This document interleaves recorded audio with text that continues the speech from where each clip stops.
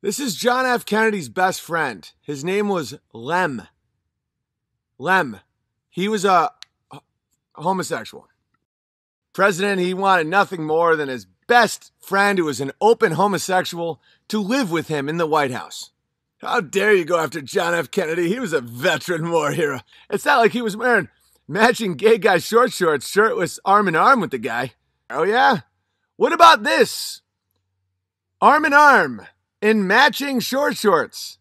John F. Kennedy, of course, being shirtless, and his studly homosexual best friend that he stays uh, close with his entire life, smiling like he just sucked a dick. How dare you, Big Bear? How, how fucking double dog dare you? I'm a baby boomer. Okay? That clearly is just two young men. One just so happens to be a homosexual. There's nothing gay going on there. It's not like they're petting a dog together or anything. What if they're petting a little puppy together in white linen pants? How? How dare you, Big Bear?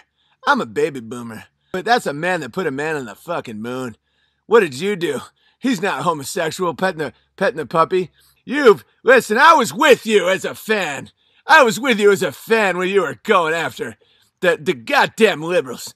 And then even when you came at your own Crowder. But now that you're attacking an American patriot as a homosexual, how, how fucking dare you?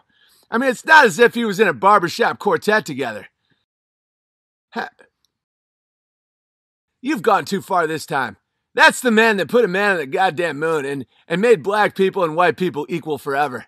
The same exact cock length and everything. And now you're trying to say he's a homosexual. How dare? It's not like he slow danced with the homosexual and, and, and made out with him. Well, here's a picture of John F. Kennedy Jr. and his homosexual best friend slow dancing and kissing. How, how double dog dare you? John F. Kennedy was a, a guy, a fucking war hero. It doesn't matter how many cocks that war hero took in his asshole.